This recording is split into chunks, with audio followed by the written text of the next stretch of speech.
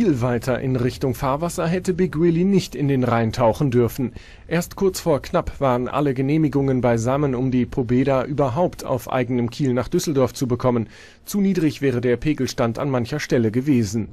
Der Regen der letzten Tage hat Big Willy den Job gerettet. Mit dem Rheinwasser kamen wir sogar hin. Wir brauchten für dieses Boot noch ein paar Genehmigungen, die heute Morgen noch nicht vorlagen.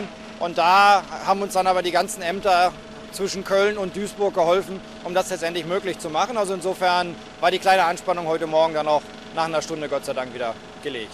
Diese Yacht vom Typ Lindenkotter 20M ist bereits verkauft. Für 1,45 Millionen Euro geht sie nach Russland. Auf der Boot in Düsseldorf steht sie aber noch stellvertretend für eine barrierefreie Bauweise. Wohn- und Steuerbereich befinden sich auf gleicher Ebene. Der stabile Stahlrumpf ist perfekt für Fahrten auf Binnengewässern oder küstennah auf dem Meer. Die größte ist es nicht. Wir haben insgesamt zwei Boote über 70 Fuß. Das sind also dieses Jahr die beiden Maßstäbe, die wieder äh, gelegt werden. Es ist natürlich ein Abbild der Branche momentan. Es werden nicht so viele große Boote gemacht. Die Logistikkosten, um nach Düsseldorf zu kommen, sind sehr enorm. Aber dennoch haben wir in diesem Jahr mehr Boote, als es im letzten Jahr war, auch mehr Aussteller und konnten auch in der Größe ein ganz, ganz kleines bisschen zulegen, was im Verhältnis zum europäischen Wettbewerb schon wirklich ein Meilenstein ist. Mit der ersten Auskranung beginnt traditionell die Aufbauphase der Wassersportmesse. Dieses Mal wird es noch mehr zum Ausprobieren geben auf der Boot. Einen zusätzlichen speziellen Tauchturm zum Beispiel oder eine Kanu-Teststrecke auf 1000 Quadratmetern.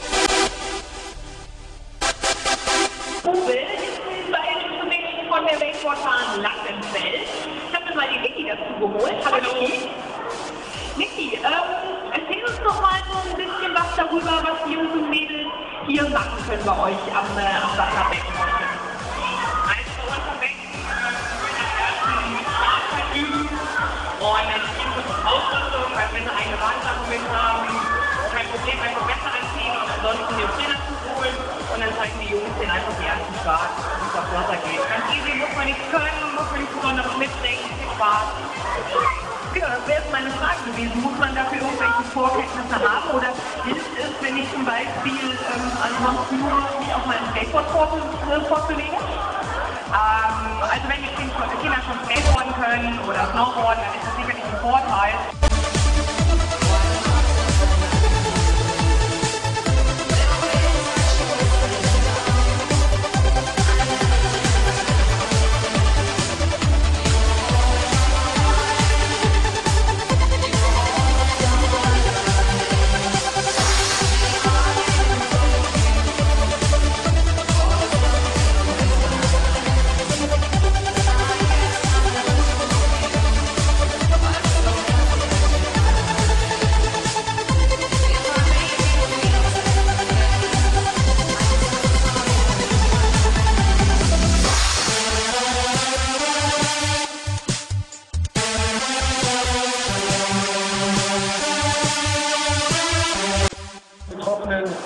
gemacht wird, davon leben wir, da ist Respekt bei, da ist eine super Integration dabei und das funktioniert und äh, wir haben sehr gut zu tun.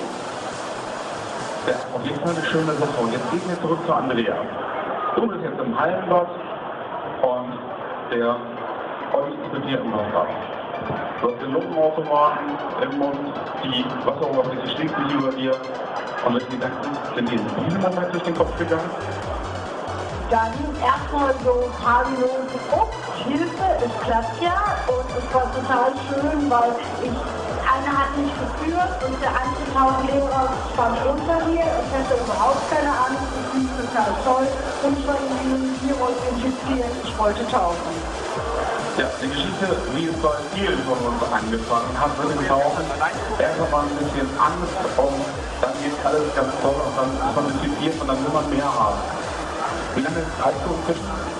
Ungefähr ein Jahr. Und, äh